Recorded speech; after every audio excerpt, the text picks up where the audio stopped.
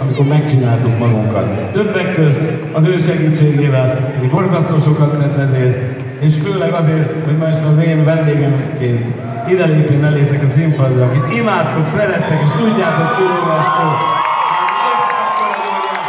Hát, hatalmas pompoló sikoly, és a színpadon